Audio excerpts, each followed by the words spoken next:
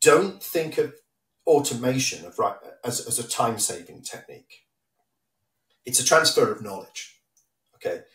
Um, yeah. If you know how to do an analysis by clicky, clicky, clicky, clicking, I don't know how to do that analysis. But if you were to take the time to get the code to me somehow, then then it's a way of you saying, "This is everything you need to know to do what I can do." You're transferring knowledge to me, because Croucher's law is um, uh, I can be an idiot and I will make mistakes, um, and mm. this is, if you like, the, the premise of all of the software engineering practices that go on to follow. Um, but Croucher's law has a corollary, and that is you are no different. Most of the time, or sometimes, engineers are not actually talented coders. So today, Mike Croucher will walk you kind of through a, I would call it a framework, maybe, how you can become a better coder. So, Mike, welcome to the show. Hi, thank you, Jousef. Can you give the audience maybe a bit of a background? Like, who's Mike? What are you doing at the moment at MathWorks? And yeah, what are you up yeah, to? Yeah, sure. Okay. Um, yeah, so um, I uh, worked at MathWorks for the last three years. Um, before then, I spent about uh, nearly 20 years in academia. So I started off with a PhD in uh, theoretical physics. Um, but I was one of those PhD students that near the end of my uh, PhD, my supervisor said to me, you're a you're more of a computer scientist than you are a physicist because I spent so much time writing code and not enough time uh, writing papers um, and, and, actually thinking about physics. And I think uh, she, she, was exactly right. That that was that was the, the state that I was in. And so rather than going on to become a research physicist, I went and worked at the University of Manchester um, in computational support. So um, working with the high performance computing department, um, working with people that was teaching introductory Perl. I did an introductory Perl course way back then that I used to teach people. Um, I, uh, I taught MATLAB, I taught Python, I taught all kinds of things. Um, and then uh, over the years, I got more and more involved with what I call uh, the, the, long tail scientists. So that, uh, what that means is sort of the, the vast majority of scientists and engineers out there, um, they they're not coding experts, but they have to use coding. So they'll do, you know, a little bit of MATLAB or a little bit of Python or um, Perl, Mathematica. I did all kinds of different things. Um, but it wasn't their specialism. And I would work with like helping them just improve a little bit more. Um, uh, very often, the reason why people would come to me is because they, they needed things to go faster. That would be the initial uh, way that uh, people would get started. And so I kind of did this kind of work for uh, quite a few more years. I got involved with an organization called the Software Sustainability Institute in the UK. Mm-hmm. Um, they pretty much exist solely to improve research software. That, that was why they were created um, back in 2010. Um, and from there, I got a fellowship, something called a, from a funding body called the EPSRC. So I got a research software engineering fellowship which I used to found the Research Software Engineering Group at the University of Sheffield. So then that was a group of people um, where all we did was um, teach people how to uh, improve their code. We actually got funding to work on their projects with them and so on and so forth. That group's still going. It's uh, going really strong. Um, doesn't need me anymore, so I'm quite happy about that. Um, and but at some point, I felt like it was time to move on, and um, I ended up at, uh, at MathWorks. They said, um, "How would you like to?" All that great stuff you've been doing in academia, how would you like to continue doing it, but but working for us? So, um, yeah, that's why I'm at MathWorks now. Very good. I also like the subliminal message in the background, like Python for MATLAB development and MATLAB. And I think the other book is the one from Steve Brunton, right? If I'm not yeah, that's right. Yeah, data driven science and engineering. It's a it's a fantastic yeah. book. So uh, yeah, um, the uh, yeah there's there's a lot of different. Uh, um, uh, uh, what else have I got there? I've got optimized C books on algorithms, linear algebra, accelerating MATLAB performance is just. I mean, you can only just see it here. Um, along with some of my old physics books as well, quantum physics, quantum mechanics, and so on. So you kind of get the idea. I'm a, a physicist that that ended up coding, and, and, then over the years, sort of end up helping advise people on how to code. So, yeah. Yeah. Really cool. What I really like about you, Mike, in your presentations on YouTube that I've seen is you put a lot of memes in your presentation, but also a lot of anecdotes. And one of the anecdotes you talked about is kind of the Excel error that kind of changed history. Can you maybe talk the, about that Excel error and why it was actually crucial to kind of share code in the first place and actually share it with another team or department and work on that code? Yeah, so that was one that um, so the, the talk that you're referring to is a talk that I started giving in about 2015 called Is Your Research Software Correct?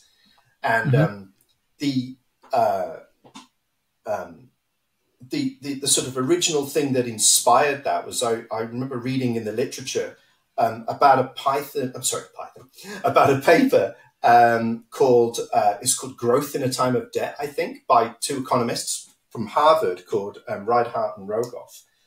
And um, this this paper was a really big deal. It sort of helped form much of the uh, economic politics of the day. People were using the results of this paper to justify austerity measures in various countries. I mean, not just this paper; it, it was part of the um, the argument for justifying austerity measures and so on. And um, essentially, what it said was, is I'm just going to read this here to make sure that I don't uh, make a mistake they said that um, countries with a public debt of 90% of GDP or more tend to experience a slower growth rate um, uh, than, if you had less public debt. And so that led to people saying, so we need to reduce public debt.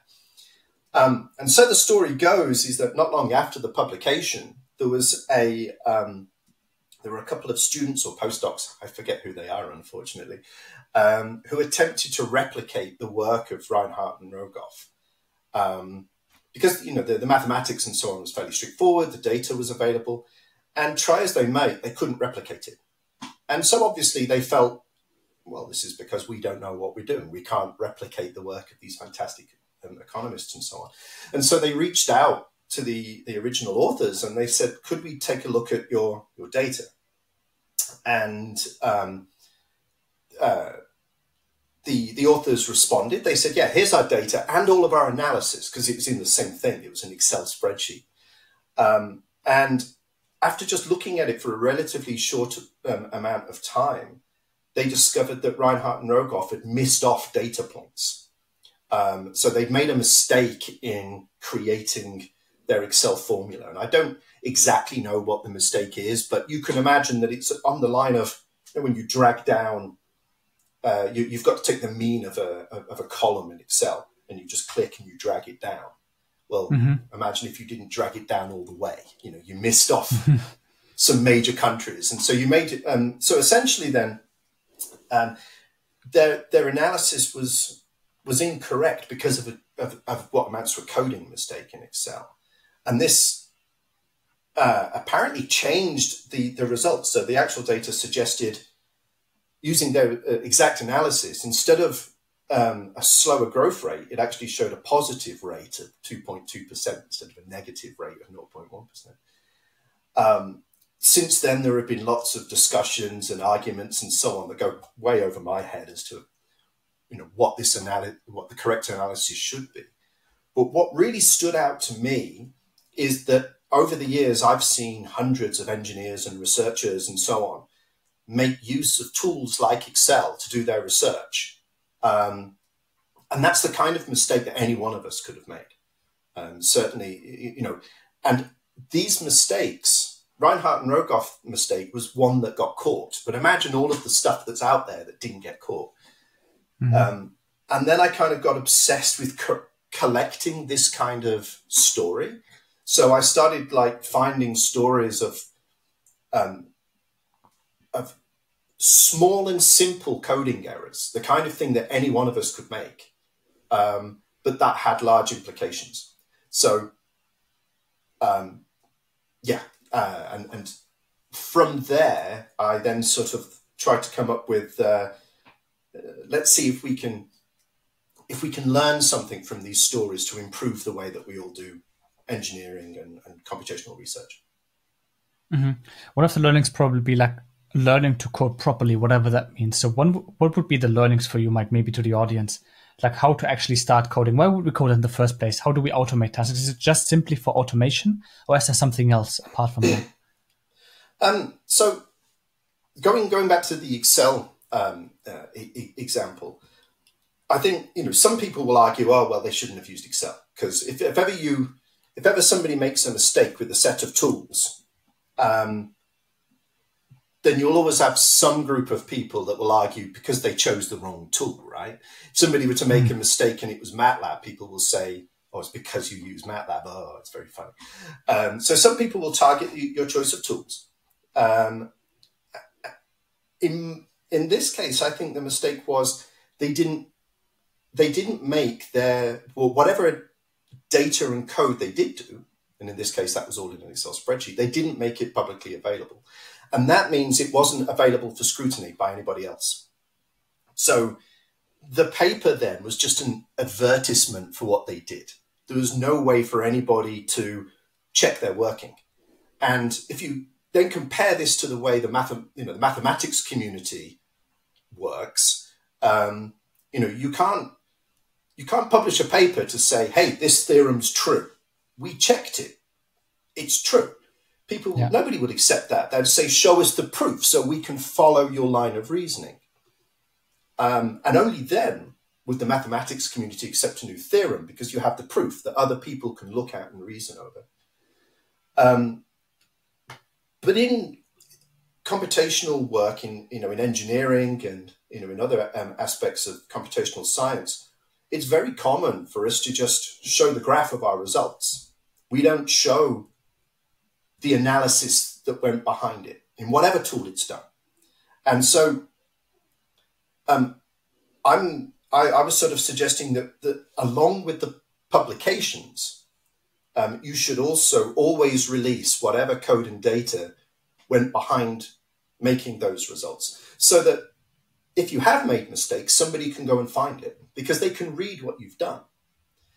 Um, mm-hmm. I mean, of course, what I'm describing here is an open source approach, but um, this is a very pragmatic reason to do it. it it's uh, it's just saying what, however you've analyzed it, just put your your scripts out there, um, even if they're just Excel scripts. Uh, sorry, Excel spreadsheets. Just put them out there so other people can look at them.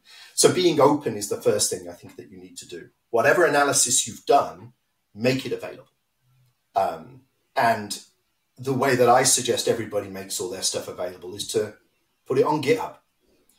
Every computational paper should have a GitHub repository or Bitbucket or you know whatever it is that uh, you know if you, if you don't want to use GitHub for whatever reason, um, but put it out there in a form that you can attach to the paper so that other people can then look at it and uh, check your work, see how you've done things, critically reason, um, and then when they look at that, they can then decide whether or not they they agree with your um, assumptions. Because if you don't do that, then I feel that all you're doing is advertising what you think you did, um, rather than you know actually.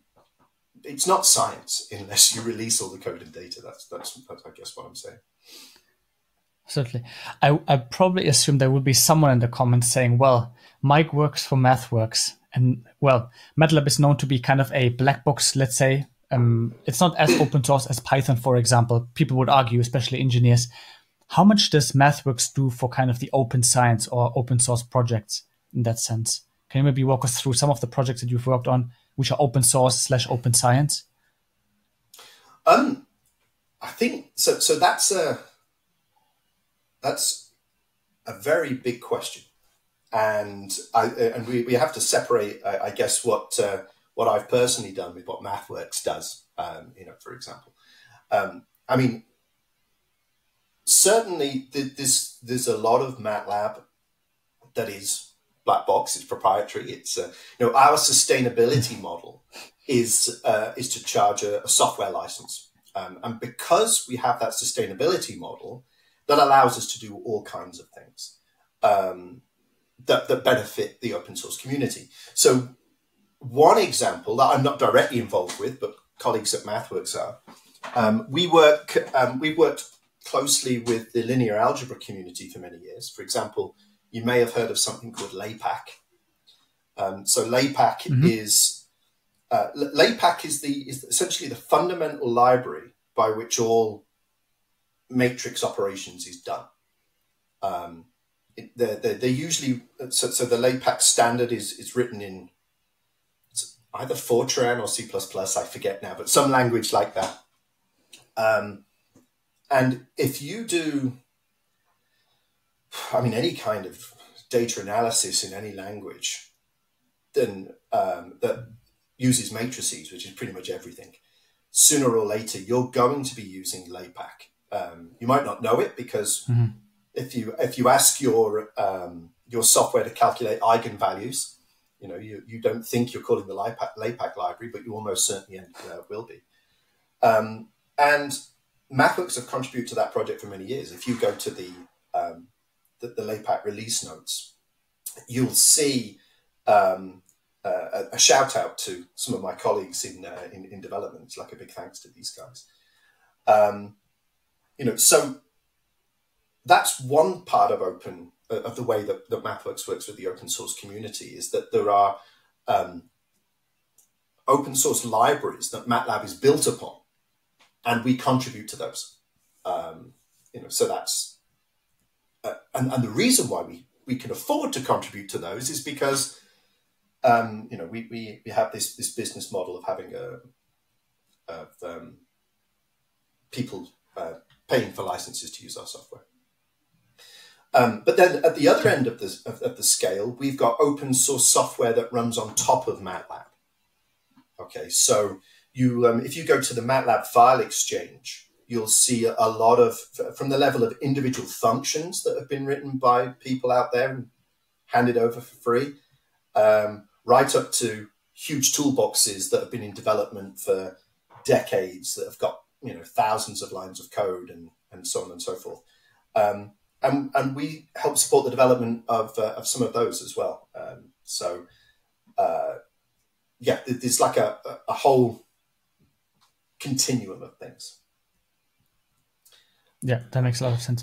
So one of the things I really like about your presentation was you kind of invented an, your own law, which is kind of Croucher's law. First of all, what is Croucher's law in the first place, and then maybe answering the question of we talked about quickly about like in one sentence about automating by using scripts and code and whatever you use, MATLAB, Python, etc. And you suggest that you use high level languages to kind of automate tasks or use them for knowledge transfer, which brings me to the question is first maybe explain Croucher's law. And then um, there's this movement in engineering going on at the moment, which is kind of like using low code, like this, I would call it black box approach again, like how we know it as engineers from Simulink, for example. You have boxes that you kind of connect with nodes, etc. So how do you differentiate between high level languages, low code applications, and what should engineers use at the end of the day? Okay, there's a lot of questions there. Um, so first of all, Croucher's law. Um, the, the the way that I like to set that up when I give the presentation is um, I say, okay, let's talk about Croucher's law. Now, my name is Mike Croucher, and I've created a law called Croucher's law. So how arrogant am I, right? And um, and then I'll say, you know, when I first uh, gave this presentation to my uh, my fiance and said, "This is what I plan on talking to the engineers." Um, she stopped me and said, "Are you serious? You're going to make a law about yourself?" Um, it's the height of arrogance and so on. And then she saw what Croucher's law was and said, "Oh, fair enough." No, I think I completely agree with that because Croucher's law is um, uh, I can be an idiot and I will make mistakes, um, and Mm. This is, if you like, the, the, premise of all of the software engineering practices that go on to follow. Um, but Croucher's law has a corollary, and that is you are no different. You or anybody else, we can all be idiots and we can all make mistakes. Um, yeah. And, and essentially, the, the reason it, it might seem like a really obvious thing to say, but when you start to introduce software practices, such as my favorite, which is uh, uh, version control, and then after version control, it will be mm-hmm. uh, you know applying testing. You mention these to some people, and they'll say, "Oh, I don't need to do that because I'm really, really careful." Um, so you know, I, I, that, that, this has been an argument that's been said back to me. Um, I'll say seriously, if if you believe that you're so careful that you can never make mistakes, then I can't help you, and I'm not sure anybody can. I think it, you, you you have to uh, have the error of your ways demonstrated to you by example. um, you know, before you can actually change your working practices. So I go on to say essentially, you you have to accept that Croucher's law is true. Um, mm-hmm. Because once you accept that, you then say, okay, given that, I can be an idiot and I am going to make mistakes. What can I do to mitigate that? What can I do to make sure that when I make the mistake, it gets caught as quickly as possible? Because, you know, science is a messy affair. And so is engineering to a certain degree, right? We, when we're doing something new, we stumble around, we make mistakes, we, we learn from those mistakes and so on. And so a, a lot of the advice that I've given over the years is pretty much find those mistakes as quickly as possible. Um, so, uh, you know, and things like version control and unit testing and other software engineering practices help help lead to that. Yeah, we might go in a little bit more detail in a couple of minutes. Um, and then I talked about kind of this high high language, high level language usage versus low code language. Why do you advise people to use high level language and like kind of write out the code? Uh, is it also maybe a technique to find mistakes as fast as possible when you write out code? Kind of. So, language. Yeah. So really, the, the the advice there is when I say high level language, I mean something like MATLAB or Python or R compared to something mm-hmm. like Fortran or C or C++, right? That's what I mean by high level. Yeah. And there has been research done that, that shows that it doesn't matter what language you choose to use, your average coder will write a certain number of lines of code per hour, per minute, whatever your unit of time is. Um, and the fact is, you can get a lot more done in 10 lines of MATLAB than you can in 10 lines of C. Okay, so I'm mm-hmm. saying, oh, use a high level language because it's more productive for, the programmer. Okay, so, you know, um, and I can already hear all kinds of fans of other languages of C or C++ in, in your audience getting upset by that. Um, but, you know, since the explosion of these high level languages, um, it's made many more engineers and, and researchers have been doing a lot more coding right now. It's kind of democratized coding um, because you can you can do your programming in these high level languages. You don't need to learn C or C++. Um, and then to answer your question about low code, um, back when I first started giving this is your research software correct um, presentation, um, the idea of low code didn't really exist. But we, we did talk about using graphical user interfaces to do your analyses. Um, you know, so, so people would uh, they would load their data in, and then they would you know click around on the menus and say, okay, um, I want to take that column and I want to do a t-test on it, and then I'll take this and do some other analysis on it and whatever. And then they write down in their Word document, um, you know, we took column five of the data and did a t-test on it, um, and so on and so forth. And the reason why I didn't like that is because I would say, how reproducible is that workflow you've just done? It isn't. And indeed, would give examples of how um, papers had to be retracted because people had used graphical user interfaces and had actually clicked on the wrong thing. Um, so they wrote down, you know, I, I did a t test but actually they'd accidentally clicked on something else. So the number that came out of the data was totally unrelated. It was, um, so it would be interesting because you would have like people argue, you'd have statisticians argue over papers, would say, oh, they've taken a frequentist approach. They should have taken Bayesian and, you know, all of these quite deep mathematical arguments. And it's like, dude, it's a lot worse than that. They're not even doing what they said they did because, you know, they, they made a mistake. They clicked on the wrong thing. They wrote down the wrong number. And so I sort of argue, how reproducible is a mouse click? It's not reproducible at all. Um, you need something that you can share. And so when we then go back to the low code things, which is almost like a, a modern take on these graphical user interfaces, right? Because you can, uh, you don't have to write any code, but you can you can do a lot of analyses. I've got no problem with low code solutions as long as there's some way to make it reproducible. And the way that the MATLAB does that is that you've got your graphical user interface, your apps, your uh, live tasks, and so on. And you can you can click around, you can do the analysis, and then when you're happy, once you've got something that you believe in, you can click on generate code, and then you can share that code mm-hmm. as the reproducible artifact. So I think that's really cool.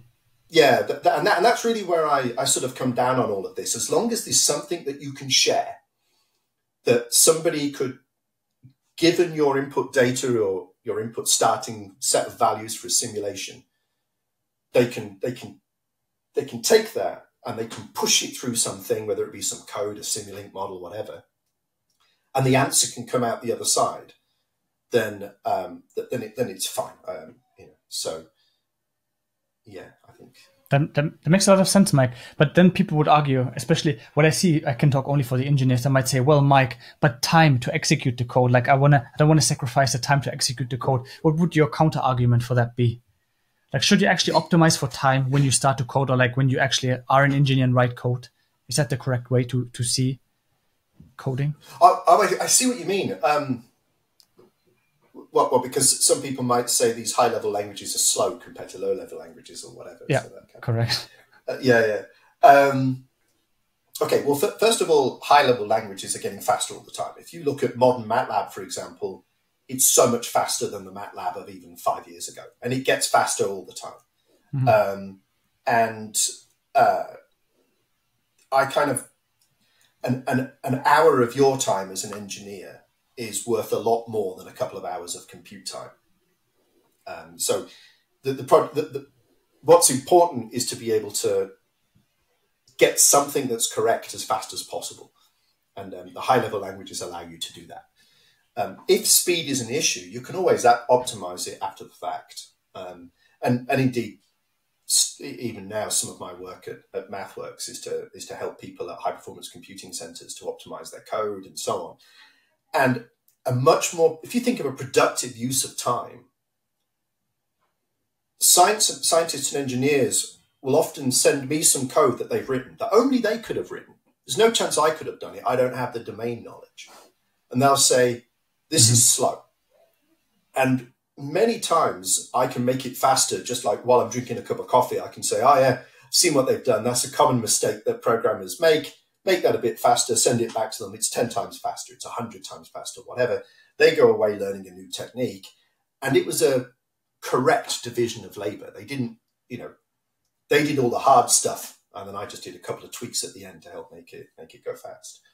Um, another way of, of viewing time taken for programming is some people don't like to automate tasks that they do they do it via a graphical user interface because they'll argue there's even an XKCD comic on this. They'll argue that um, you know it took me five minutes to do it via a graphical user interface.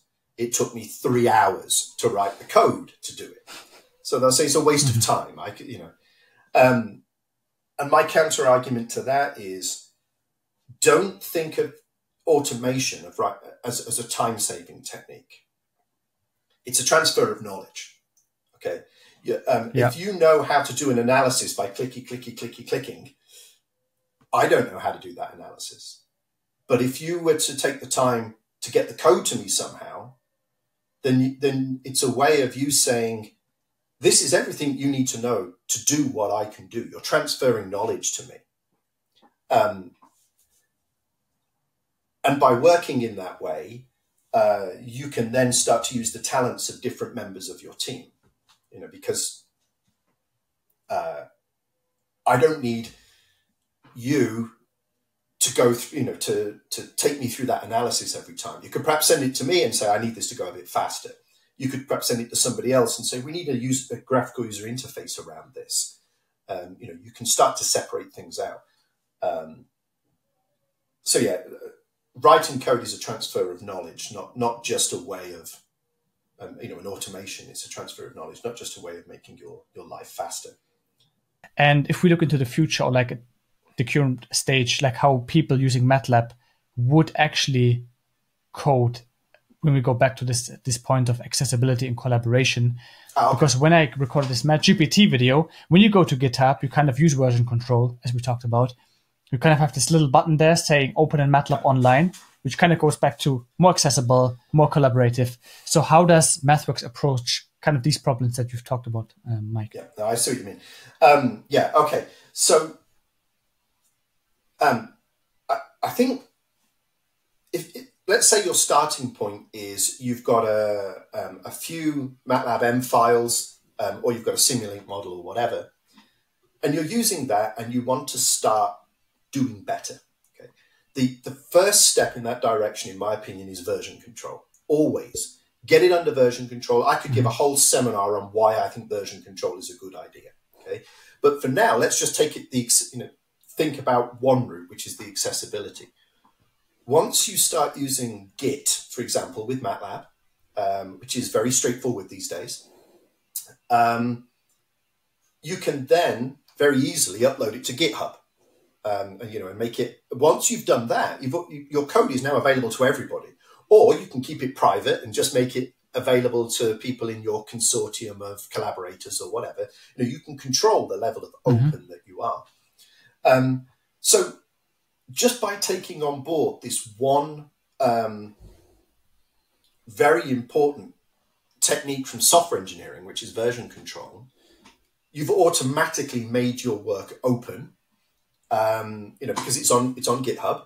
You could then, if you were in a MATLAB context, if you wanted to make it more easily available to other MATLAB users, you can connect your GitHub repository to the MATLAB file exchange and it will do this automatically. So every time you release something new on GitHub, it automatically publishes to the file exchange.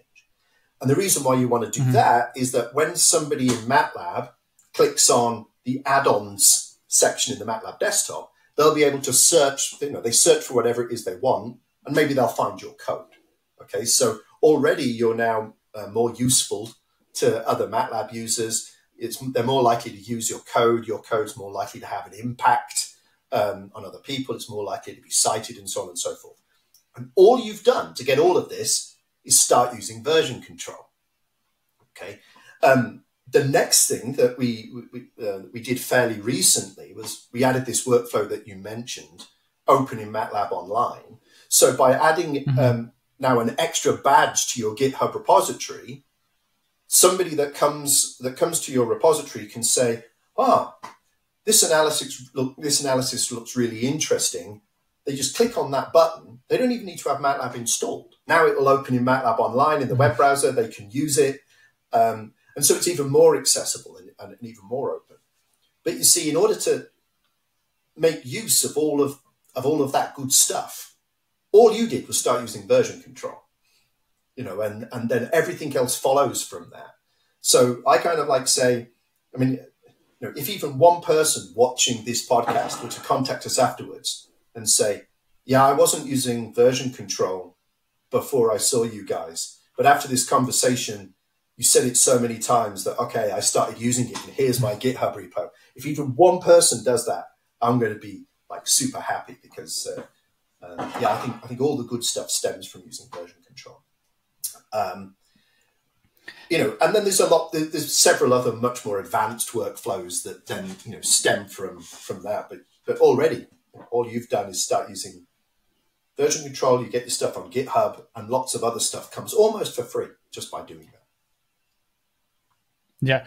One thing um, I want to ask you, Mike, is more like we talked about knowledge transfer, which I really like the idea of actually not using it as an automation tool, but more like a knowledge transfer tool. Let's talk maybe about a mindset shift that maybe has to happen because a lot of people think, well, it's my IP. It's kind of, I studied for several years. I'm an engineer now. I don't want to share my intellectual property with other people. Like, what do you think an engineer has to go through in terms of a mindset shift to actually be more open and more collaborative in that aspect? Well, I mean, of course, there are always times when you need to protect your IP. Sometimes it depends in what domain you're working in, right?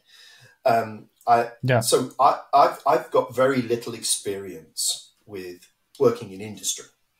All of my experience has been working with the academic community. Even now, in MathWorks, I specialize in academia, um, you know, in, in research mm-hmm. and in teaching and so on. Um, and in the acad- you know, in the academic space, what certainly what matters in the UK, I can't speak even for other countries, but what matters in the UK is we have this idea of research impact. How much impact did your research have in the world? And it's when you're actually writing research mm. grants for many of the funders, you have to write what's called a, a research impact case study. You know, if my project is funded, this is how it's going to change the world. This is the impact that it's going to make. And I think that by by making your uh, the, your your analysis, your algorithms, and so on, um, putting them online on GitHub and making them open in this way, so that more people can use it, you're more likely to get that impact. Okay, um, and so I think really that yeah that that's that's how I think you should think about it, um, and yeah, if perhaps if you're working in industry and you know in and um, there are other reasons why you've you've developed uh, your algorithm or whatever. Um, you know, you ha- you haven't it's not part of research. It's part of like a, a something that you're, you're, you're working on in you know to produce a product or whatever. Then perhaps you behave in a different way. Um, yeah, I'd like to say you should, you should you should be as as open as is sensible for what you for, for what your um, your what you want to achieve. Yeah, that makes a lot of sense. sense. Um, we talked about that makes it yeah makes absolute sense to me. We talked about uh, the version control right now. Um, one of the anecdotes I have when writing my master thesis, for example, when you use frameworks like TensorFlow, whatever, um, sometimes the dependency uh, change. For example, are there some other things that you encounter on a day to day basis, maybe even students, where you could give the listeners to the podcast kind of tips on maybe how to fix the issue with um, changing dependencies, virtual machines, uh, containerization, for example. A few tips that you could tell the audience of what they maybe should explore if they want to become better coders? Yeah, so dealing with dependencies is a is a is a big problem, in, uh, you know, as you say, um, and I, I, think that it's one that hasn't really been solved fully in any language. Um, you know, mm. In in in MATLAB to a certain degree, uh, things are made easier by the fact that um, if you were to say, I used you know release twenty twenty three B then you've already, you know, I've used release 2023B on a Mac, then you've already set down a lot of your dependencies. You know, that that's a uh, fairly well defined there. It gets more complicated when mm-hmm. you start using some of the open toolboxes, um, you know, from the file exchange or whatever, because then you have to think, you know, which version of this have I used, which version of that have I used. Um, and you know, similarly, like in, I don't know, uh, my fiance uses R a lot because she's a statistician, and um, you know one of the one of the issues that she has to deal with is that all the packages on CRAN they seem they, they, they change like constantly, and if you've got a a very large project that uses a lot of packages, then sometimes it you know the project will run today and not tomorrow. Um, but there are ways of of managing that as well, and essentially all of these ways come down to recording making some effort to record what your environment is. Um, what are all the different versions of all of the packages that you're using? Um, and this can be yeah. and can then be automated in in various ways, so that um, you can say to somebody, uh, not only are you going to run my code, but you're going to run it using the same set of packages that I ran, whether that be in, in Python or R or MATLAB or whatever. There are ways of doing that, and I think that's kind of like if you're starting to depend on lots of other packages, then sooner or later you need to start thinking about describing your environment as well. Um, and I think level one is, uh, you know, listing uh, list, listing all the versions of the packages that you do in some machine readable way. Um, I don't know if it's still around, but there was something called the MRAN, for example, for R, that um, it was done by mm-hmm. it was done by Microsoft, I think, um, and uh, the, the, there was a way where essentially you could set the you could set the date where you could say um, I'm, I'm going to use all the packages that were, all of these packages, whatever version they were on the, um, the, the 8th of November 2023, they're the versions that I want you to download. You know, and it would take care of it all automatically somehow. And then you have you know, similar systems um, in, in pip for Python and you know MATLAB and so on. Um, so that's that's like level one. Then level two is to think about Docker is containerization. You know, if you need to do that, um, the, the, to a certain extent you kind of need to. It, it, it's it's an engineering call. Um, how deep down this particular rabbit hole do you want to go? Um, if you're writing like a very small script that doesn't have many dependencies, you, then a Docker container is probably too heavy.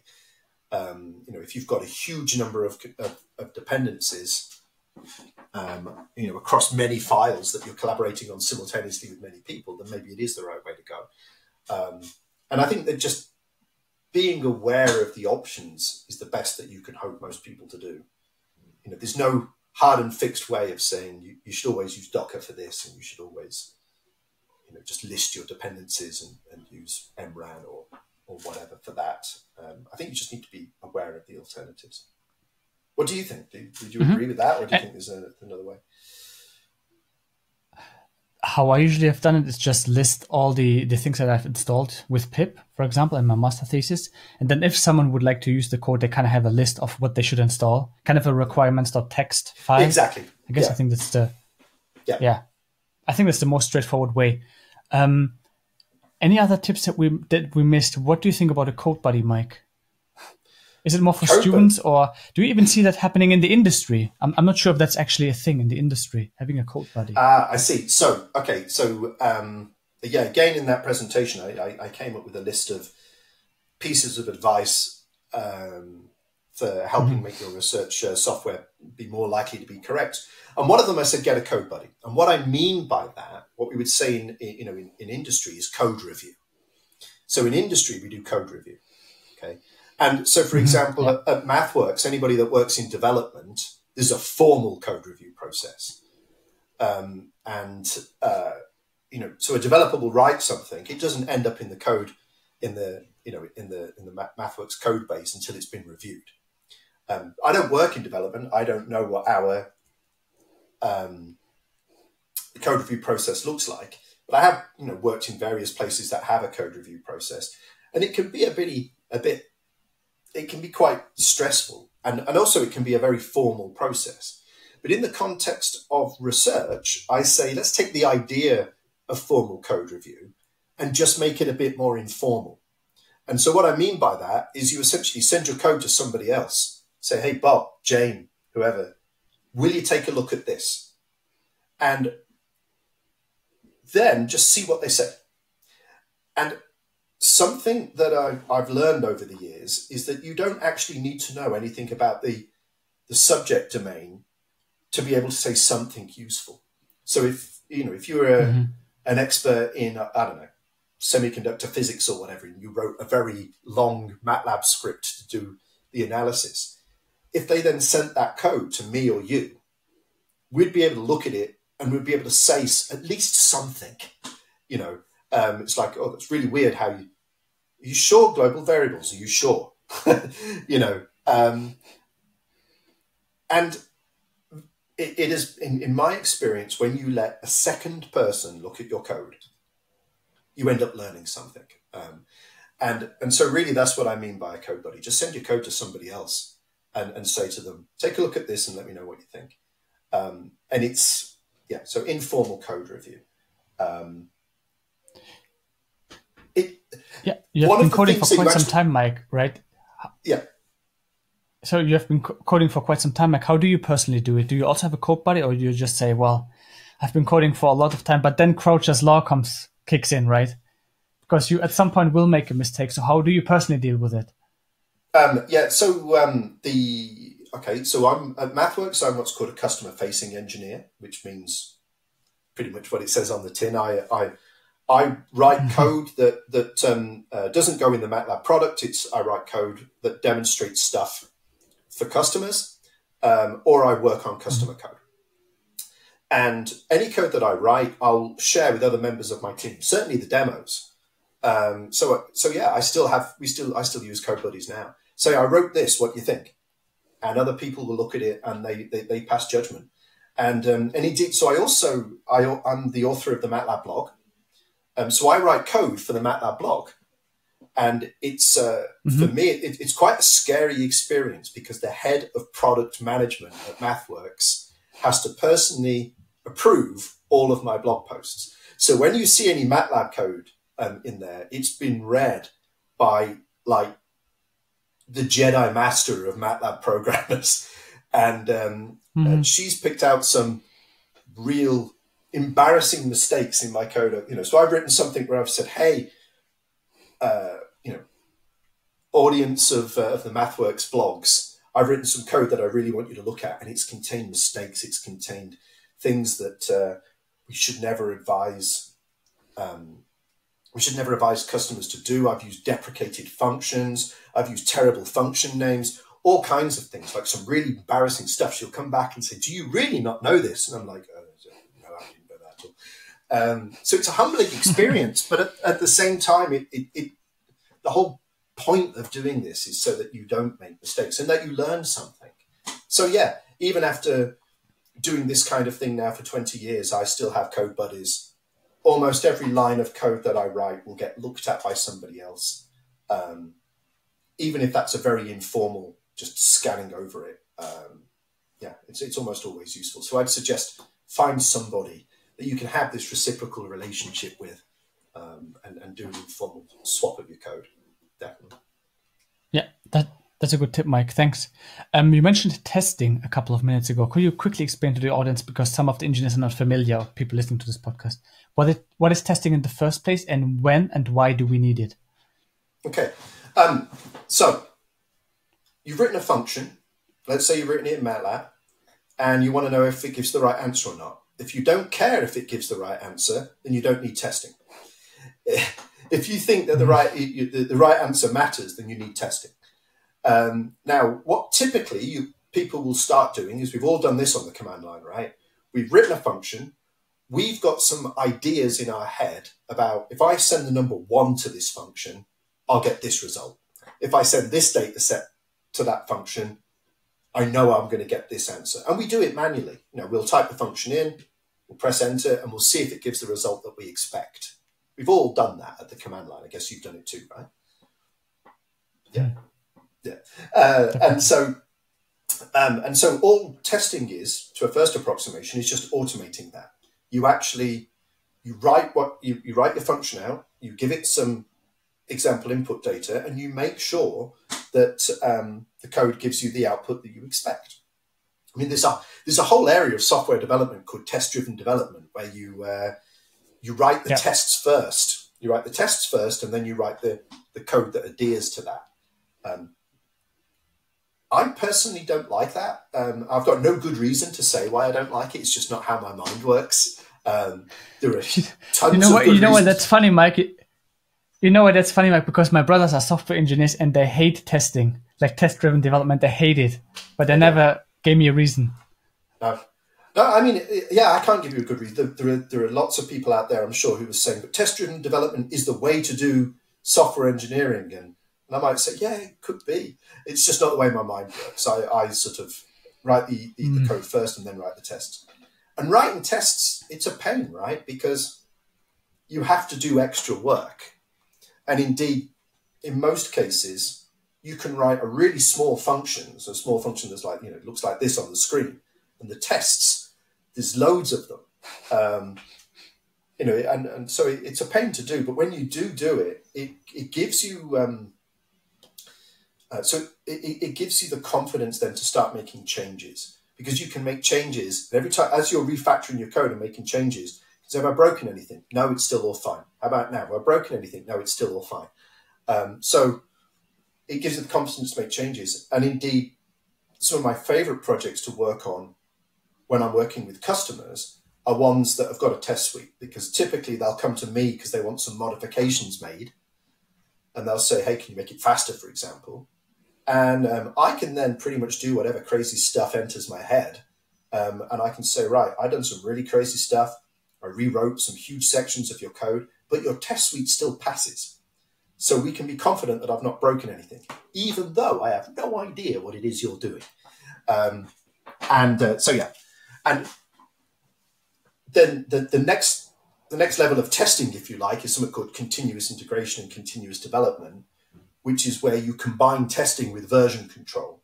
So that's when every time you then uh, update your code on GitHub, it automatically runs all of your tests and tell you whether you've passed or not. And mm-hmm. so, you know, I kind of see that all of these techniques they kind of add on top of each other, um, and uh, yeah, the, the, and then the end result is is is much bigger than the sum of the parts. It's always a, a really good thing to do.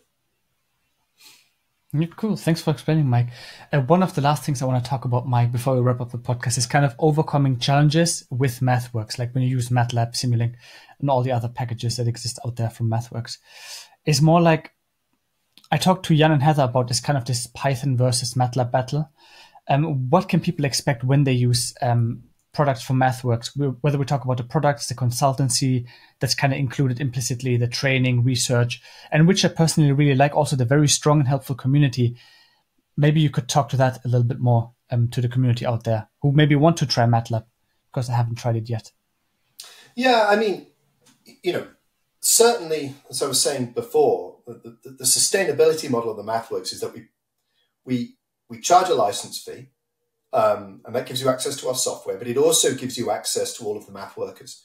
Um, the, the, the, first stage of that is, um, you know, if you, if you have any problems with installation or whatever, you can just email support or phone someone up and say, I'm having a problem and so on. Um, within academia, there's a whole team of people just like me who, uh, who, whose role is to help academics make use, make better use of MATLAB in teaching and research. So we've got a worldwide team of people where if you were to say, I'm at the University of whatever, we've got a MATLAB license, um, and I'm teaching, uh, you know, introduction to optimization using MATLAB, and I'd like some advice on how to use it better. We'll be there for you. We, we can we can help you do that. There's all kinds of extra work um, that we can do.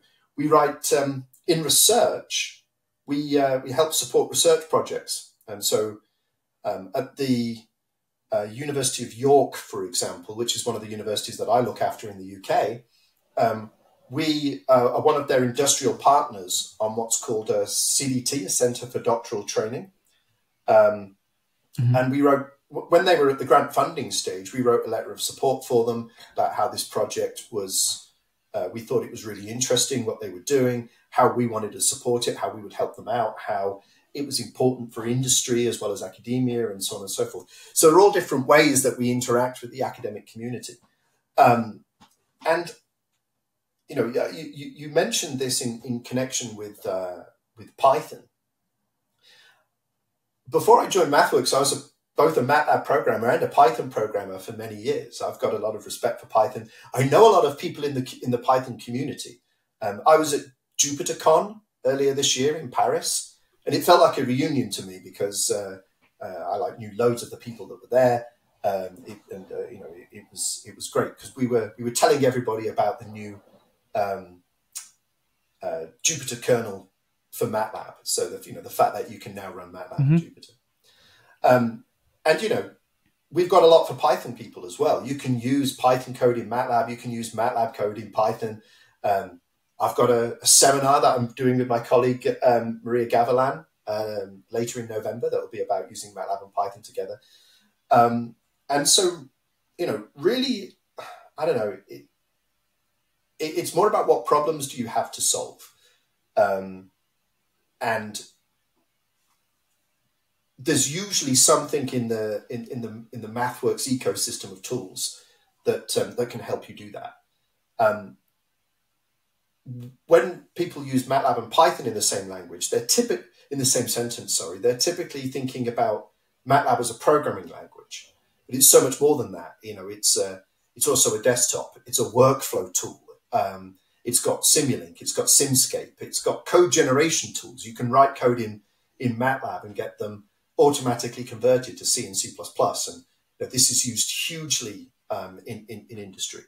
Um, and you can integrate it with all kinds of other languages, of which Python's one. So, you know, when when I say MATLAB, I don't just mean the language. I think of the whole system of tools around it. Um, does that answer your question? I kind of feel like I've branched off all over the place. Absolutely, yeah. I really, yeah. I kind of want to talk uh, want to talk uh, more about the support system, which you kind of answered, Mike. So really appreciate that.